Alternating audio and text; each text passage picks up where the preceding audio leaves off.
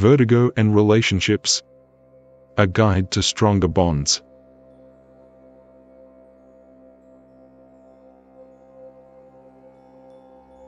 Imagine waking up to a world that's spinning. You're not just dizzy, your entire life feels out of balance.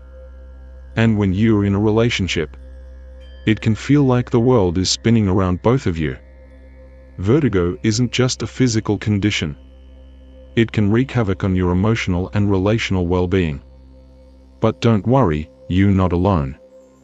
In this video, we'll explore the challenges vertigo presents to relationships and provide practical strategies to strengthen your bond.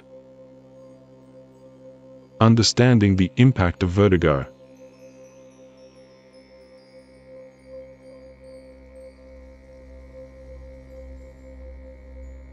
Vertigo can create a ripple effect in your relationship. Fear, anxiety, and isolation can creep in. Communication breakdowns, resentment, and physical limitations can strain your bond. It's important to understand the emotional and practical challenges you both face, building a support system.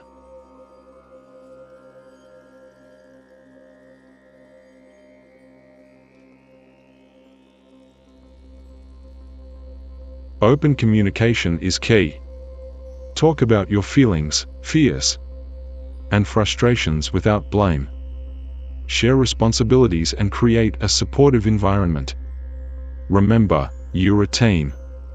Seeking support from friends, family, or support groups can also be invaluable. Coping strategies for couples.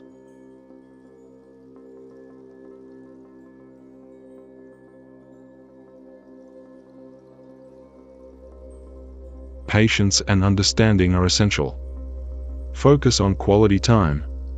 Even if it's just small moments of connection. Explore new hobbies or activities together. Stress management techniques like meditation or yoga can help both of you cope. Professional help and resources.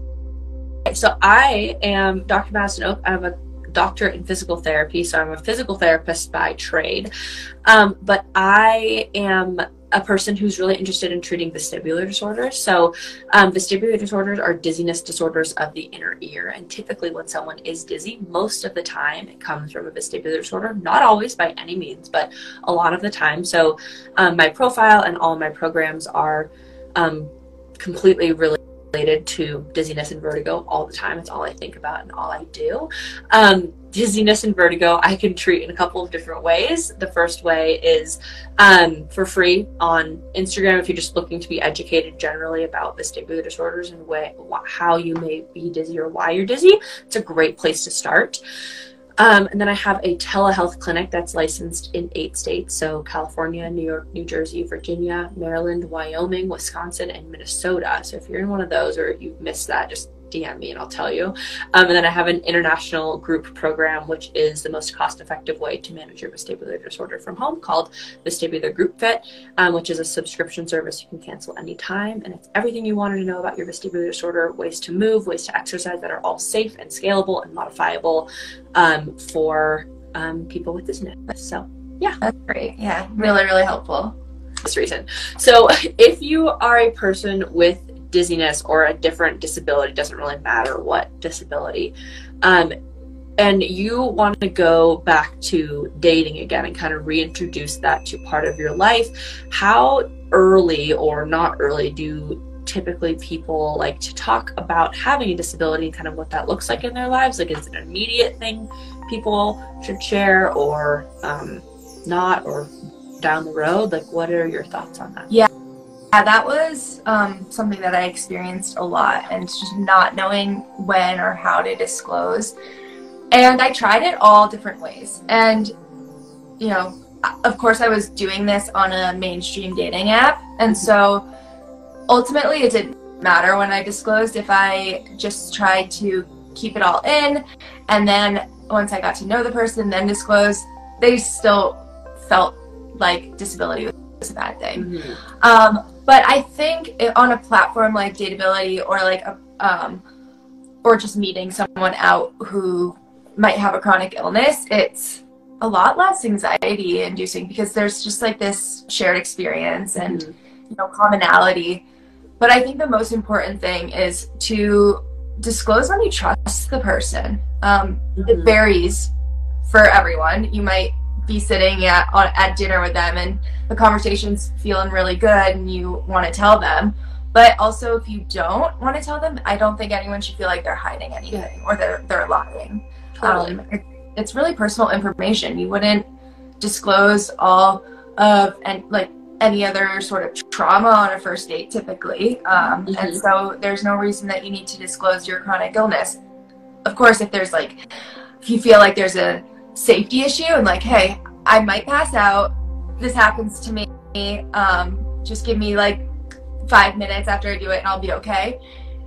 That's also a, a thing to consider. Um, but I think learning how to who to trust is important. Yeah, and I will say dateability, we have a section on each profile called dateability deets, and it's a broad list um, of terms like immunocompromised, wheelchair user, chronic pain that people can check off what applies to them or type it in, and it goes on their profile. It doesn't contain any diagnoses, and it is optional because we do respect boundaries and what people are comfortable sharing. But it goes on the profile under basic information, and it kind of just gives people a heads up. Um, and also, I think makes the experience of disclosing less daunting because it's already out there. You know, we don't view dis- disability with any kind of shame or negativity, and I think dateability re- dateability deets reinforces that. Um, and so that's really important. And I will say, I saw a question up there. I think it was from Maya about when they can limit it to the state they're in, and so maybe sh- uh, they came on later. We are releasing an update this week where the location function will be optional, so you can choose your geographical radius or you can see everybody on the app. It's um, up to you. I think that's a good idea. Awesome. That makes a lot of sense. I feel like the comment um, about when you trust the person is a really big one, and when you think that they'll be able to, not that they need to be able to like handle information, right? Like it's just like a fact about you, and it's something that you live with every day. Um, but I do think that there is some safety in trust, and hopefully that kind of goes over better when someone does trust you and you trust them Yeah, I, about so do you know of any so someone who's ma- married asked if there's any partner support groups or like ways that partners can um, kind of ask for support from other people that aren't the person with the uh, living with the chronic illness and i'm curious if you know of any like that i don't I don't, but I I think the best advice is to be open and have open lines of communication. Uh, do you have any advice? I wish that I knew. I know that um, Dizzy Cook, Alicia, sh- her husband wrote an article about what it's like to live with someone who has a vestibular disorder, and I think that's a really great maybe jumping point. But I don't know of any. I'm sure there is.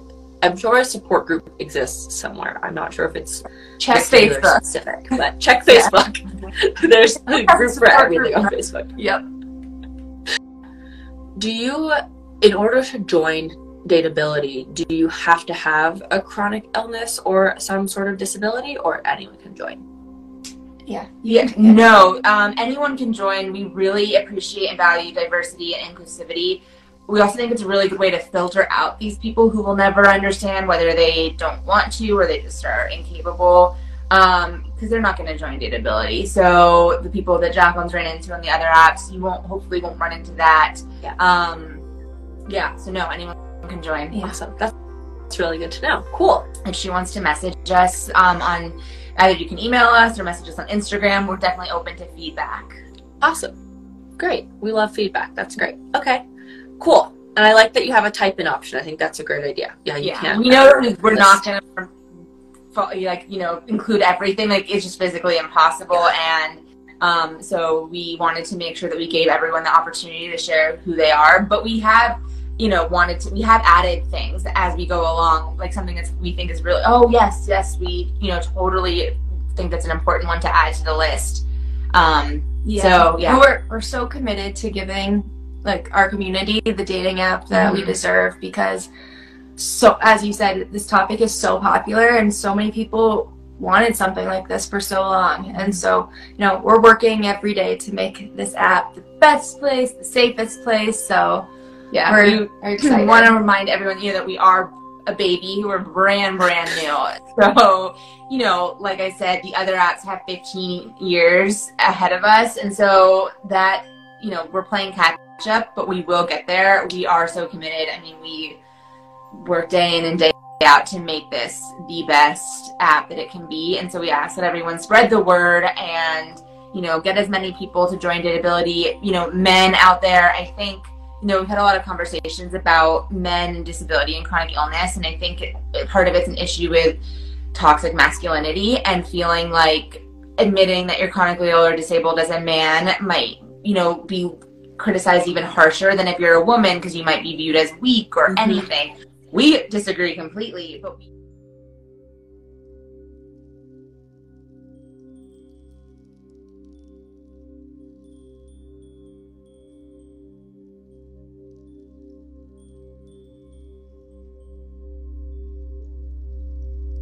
Sometimes, seeking professional help is necessary. A therapist can provide valuable tools for communication and coping. There are also many online resources and support groups available. Conclusion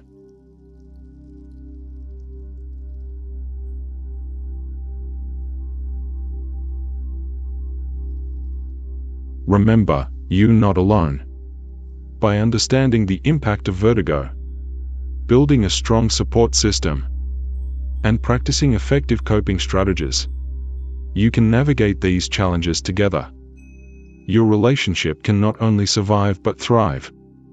Thank you for watching at Creating Better Future.